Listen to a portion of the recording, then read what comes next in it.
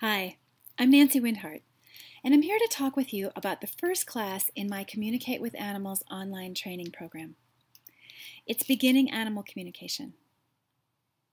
If you're here, I'm guessing that, like me, you're an animal lover, and that your relationships with your animal friends are some of the most important in your life.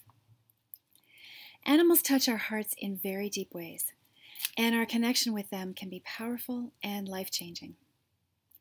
And sometimes we don't understand each other, or we wish we understood each other better, or we wish we could speak each other's language. Well, we can. Telepathy is the primary language that animals use to communicate with humans and with each other. It's a universal language, and it's really quite simple. Like animals, we as humans can also communicate telepathically. But we often forget how to use this inborn and natural ability when we learn our human spoken and written language.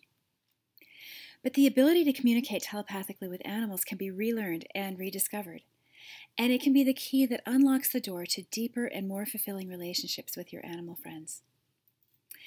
Telepathic communication can help you to understand what your animal wants and needs, solve training or behavioral issues, help with family changes, end of life decisions, and it can help you to deepen your relationship with your animals both emotionally and spiritually. I've been teaching telepathic animal communication for years, and I'm passionate about helping people to uncover their natural inborn ability because I've seen firsthand the powerful and life changing effects that telepathic communication has had in my own life and with my own animal family, and also in the lives of my clients and students.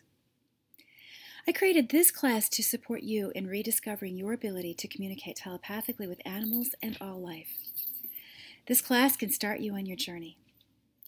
I invite you to learn more about the program, and if it calls to you, please join me. I would love to be your guide.